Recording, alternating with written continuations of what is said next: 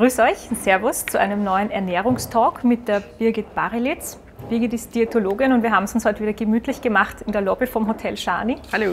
Mit Kaffee und Kuchen haben wir schon gegessen vorher. Nein, wir reden über Low Carb.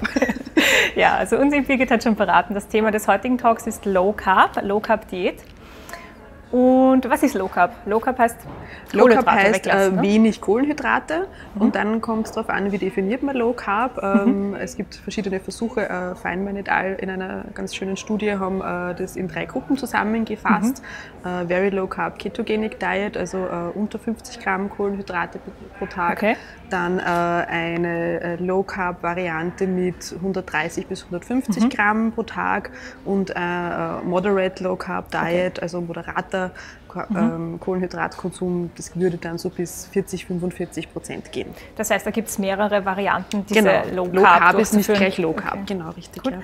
Ähm, warum ist das so ein Trend gerade? Ja? Alle, die abnehmen wollen, sagen, ah, Low Carb, Low Carb, warum? Mhm. Äh, das ist ja jetzt nicht ein vollkommen neuer Trend, ja. das äh, gibt es ja schon länger, hat angefangen mhm. mit, mit Atkins und Lutz äh, mhm. Die einfach äh, sämtliche Beilagen und mhm. halt Kohlenhydrate möglichst weggelassen wurden und es ist halt einfach wieder entdeckt worden vor einiger mhm. Zeit. Kohlenhydrate, vielleicht sagen wir das kurz, wo sind die alle drinnen? Was muss man da weglassen? Genau, äh, Kohlenhydrate sind äh, drinnen in sämtlichen pflanzlichen Produkten. Mhm. Ähm, Kohlenhydrate hier werden aber einfach verstanden, alles was wir so als Beilagen sehen, also Nudeln, äh, mhm. Kartoffeln, Reis, Knödel, okay. Nockerl. Mhm. Ja, auch okay. äh, Hülsenfrüchte in größeren Mengen, weil und die auch Süßes. gut und Süßes, genau. Auf jeden Fall einmal der Zucker. ja.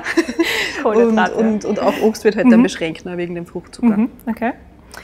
Ähm, welche Argumente kannst du für eine Low Carb Ernährung anführen? Mhm. Also Was für eine ja? Low Carb Ernährung spricht, äh, gerade wenn es um die Gewichtsreduktion geht, mhm. das funktioniert relativ schnell und einfach. Mhm. Manche Leute tun sie halt einfach leichter, indem sie jetzt grob gesprochen einfach die Beilagen mhm. reduzieren oder weglassen. Äh, bei manchen reicht es einfach schon mal, wenn sie die süßen Sachen weglassen und die mhm. süßen Getränke, dann ist immer auch schon bei Low Carb plötzlich. Okay. Ähm, es lässt halt das Gewicht relativ schnell und, und unkompliziert purzeln, ist auch in Studien nachgewiesen. Äh, sogar so weit, dass im Vergleich zu anderen Diäten das mhm. relativ, zumindest in den Anfängen, relativ ja. äh, schneller gegangen ist. Okay, ja. schnelle Erfolgserlebnisse. Genau, auch. du hast einmal ein schnelles mhm. Erfolgserlebnis, das motiviert. Mhm. Äh, teilweise verbessern sie sogar die Fettstoffwechselparameter. Mhm. Ja. Mm, warum funktioniert das, das Abnehmen?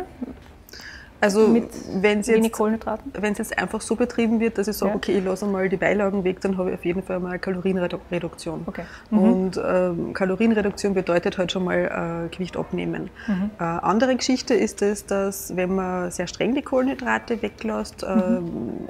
sozusagen ein Hungerstoffwechsel äh, simuliert mhm. wird. Ähm, und ja, wenn ich keine Kohlenhydrate mehr zum Verbrennen mhm. habe, grob gesprochen, ja. dann geht der Körper an die Fettreserven darum funktioniert das. Und das will man, man will die Fettreserven Und das abbauen. will man, genau. Man will die Fettreserven mhm. loswerden, okay. äh, man will die Muskeln schonen. Das funktioniert mit Low Carb Plus Bewegung auch sehr gut. Mhm. Äh, also dass eben nicht so sehr an die, an die Muskelmasse, an das mhm. körpereigene Protein gegangen wird im Vergleich zu anderen Diäten. Okay. Ähm, jetzt weiß ich von einigen Kollegen, mhm. von Trainerkollegen oder Sportlern, die das schon gemacht haben. Mhm. Einige haben es nicht durchgehalten, mhm. weil sie gesagt haben, Sie waren immer grantig, sie haben immer Hunger gehabt und mhm. sie waren nie glücklich. Mhm. Low Carb. Ja, das, das ja. kann passieren. Also ich weiß jetzt nicht, wie die Kollegen das, wie die, Kollegen das vom, die, ja. die Diät äh, formuliert haben. Mhm. Ja. Ähm, prinzipiell, wenn man äh, bei jeder Mahlzeit eine gute Portion Eiweiß dabei hat, wenn man mhm. gute Fette dabei hat, wenn man okay. schaut, dass man wirklich auch sich den Magen gut mit Gemüse mhm. äh, anfühlt, ist es schon für viele eine recht befriedigende mhm. und sättigende Ernährung. Okay. Ähm, es passt aber halt nicht für jeden. Ja. Es kommt wahrscheinlich, du hast gerade diese drei Stufen der Diät angesprochen genau. vorher, auf die Menge der Kohlenhydrate kommt es an. Genau. Wenn man sie komplett weglässt, genau. Äh, habe ich gelesen, ist man in dieser Ketose, äh, ketogene ja. Ernährung. Genau. Das bedeutet sehr wenige Kohlenhydrate pro Tag. Genau, das bedeutet unter 50 Gramm ja. Kohlenhydrate pro das? Tag. Die meisten kommen dann mal in die gar keine Portion Nudeln nicht einmal. Das ja, das, ja, da darf man keinen Apfel essen eigentlich okay, mehr. Weil Kohlenhydrate sind ja überall eigentlich drin. Genau, richtig. Also okay. da werden äh, nur bestimmte Gemüsesorten gegessen, mhm. also alle, die möglichst wenig Stärke halt drinnen okay. haben. Ja. Und was passiert bei dieser Ketose? Ähm, was da passiert ist, äh, normalerweise braucht äh, der Körper und, und gewisse Gewebe brauchen ja mhm. Glucose, also Kohlenhydrate werden zu mhm. einfach Zuckerglucose abgebaut, genau. um äh, um sich zu versorgen und um mhm. Energie zu haben. Und nach einer Weile stellt sich der Körper aber um. Wenn keine Kohlenhydrate mhm. kommen, muss er sie irgendwie anders versorgen. Da gibt es zwei Möglichkeiten. Mhm. Äh, einerseits kann sich der Körper aus äh, Eiweiß und Fett in Form der Gluconeogenese, also mhm. Neubildung aus Nichtzucker, Glucose machen, damit okay. zum Beispiel das Gehirn versorgt ist. Ja. Und äh, nach einer Weile stellt äh, der Körper auch die, den Stoffwechsel um mhm. und die, die, Leber kann dann aus Fettsäuren sogenannte Ketonkörper Aha, produzieren. Keton. Die sind dann auch mhm. nachweisbar im Urin mhm. äh, und die dienen dann als Energiequelle. Mhm. Also für den ganzen Körper und auch fürs Gehirn. Das ist der Mechanismus des Körpers für Hungersnöte eigentlich. Genau, richtig. So den man sich es, da zunutze macht. Genau, darum heißt es auch Hungerstoffwechsel. Ja. Hungerstoffwechsel und ja. Mhm. ja. das ist die, okay. die Ketose. Ähm, ist es sinnvoll für Sportler jetzt Low Carb umzusetzen? Oder für welche Sportler würdest du es empfehlen, für welche Sportarten, für welche nicht? Mhm, also ich würde wieder ja. Äh, immer mal schauen, worum geht es, was mhm. ist es für eine Sportart. Also mhm. eine gemäßigte Low-Carb-Variante ist, ist für Sportler, wo es um Kraft geht, sicher kein Problem. Mhm. Äh, wo es um, um Ausdauer geht, mhm. äh, und je nachdem, welche Intensität, muss man sich das schon wieder ein bisschen ja. individueller anschauen. Mhm. Wenn es ums Gewicht machen geht, also wenn ich jetzt irgendwie äh, wenn es um einen Wettkampf geht, vor einem Wettkampf mhm. irgendwie Gewicht verlieren will, ja. äh, ist es sicherlich eine, eine gute Methode, mhm. äh, um ein paar Kilos runterzubringen.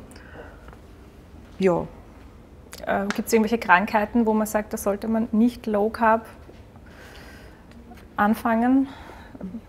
Oder ist das eigentlich für alle mal auszuprobieren? Also für, für Gesunde ist es ähm, nicht problematisch, würde ich sagen. Äh, mhm. Eine richtige ketogene Ernährung ist bei manchen Krankheitsbildern sogar indiziert. Mhm. Äh, und ansonsten, naja, an Diabetiker kann man jetzt nicht so mir nichts, dir nichts auf mhm. komplett Low Carb umstellen. Okay. Muss man schauen, okay, ja. was nimmt der Medikamente, damit das mhm. einfach alles zusammenpasst. Ja. Ähm, ich habe auch recherchiert, dass es relativ wenige Studien gibt mhm. zu den Langzeitwirkungen von mhm. ketogener Ernährung, also mhm. die Extremform der mhm. Low Carb Diät. Richtig. Äh, das heißt, man weiß eigentlich nicht, ob es langfristig angesagt ist, ja, also ich kenne jetzt persönlich ja. auch keine Studie, wo jemand angeschaut worden ist, der schon 30 okay. Jahre ketogen lebt. Mhm. Und ähm, wenn es welche gibt, die schon so lange ketogen leben, dann ist die Anzahl vielleicht auch zu klein, um da jetzt eine aussagekräftige mhm. Studie zu machen. Also ja, bei sehr vielen Ernährungstrends und äh, Geschichten weiß man mhm. leider nicht, wie sich das nach vielen, vielen Jahren auswirkt auf den Körper. Ja. Ja. Ähm, du bist jetzt Diätologin mhm. und hast meiner Meinung nach einen sehr äh, sympathischen Ansatz zum Thema Ernährung, nämlich den Genussorientierung. Genau, richtig. Ja. Das heißt, wie würdest du denn jetzt einem Hobbysportler mhm. empfehlen, mhm. dass er Low Carb umsetzt, mhm. ohne jetzt zu extrem zu werden mhm. und vielleicht auch körperliche Risiken? Mhm. Also ich würde, wenn dann eher einen, einen moderaten, äh, niedrigen, moderaten äh, Kohlenhydratkonsum empfehlen und ähm, ja, anschauen, was hat er für Vorlieben, mhm. äh, was macht er denn für einen Sport, äh, ist eine Gewichtsreduktion okay. gewünscht, notwendig oder nicht mhm. und, und dann einfach so die Ernährung, äh, Ernährung zusammenstellen. Ähm, eine Frage fällt mir jetzt noch ein. Die, viele propagieren ja, dass mhm. man am Abend die Kohlenhydrate weglassen mhm. soll, in der Früh essen. Mhm. Macht das einen Unterschied, ob man sie am Abend weglässt oder geht es wirklich darum, was man unterm Strich am Tag mhm. an Mengen Kohlenhydrate also gegessen klassisch würde man jetzt wahrscheinlich sagen, naja, es, es kommt wahrscheinlich äh, äh, darauf an, wie insgesamt der Tag ausschaut ja. und auch wie die, die Bilanz jetzt über eine ganze mhm. Woche ausschaut. Aber es ist schon so, dass bei manchen Leuten, da habe ich jetzt aber keine Studie dahinter. Mhm. Ja, also manche Leute haben halt das Gefühl oder sie merken einfach, das Gewicht geht leichter mhm. runter, äh, wenn sie am Abend die Kohlenhydrate eher weglassen. Okay. Es gibt aber auch Leute, die dann urschlecht schlafen. Also man okay. kann das wieder nicht so über einen Kaum scheren. Ja. Okay, also es geht dann schon eher darum, wie viel man am Tag isst und, und wann ist halt Geschmackssache ja. sozusagen. Genau. Na gut, dann ähm, glaube ich, haben wir alle Fragen beantwortet zum Thema Low Carb. Okay. Wenn ihr noch Fragen habt, könnt ihr die gerne in den Kommentaren posten. Ihr könnt uns auch posten, was ihr für Themen von der Birgit äh, behandelt haben wollt. Die kennt sich in vielen Bereichen aus. Ich freue mich, wenn ihr den Channel abonniert und ich freue mich, äh, freue mich wenn euch das Video gefallen hat. Ich wünsche euch noch viel Spaß bei eurer Ernährung.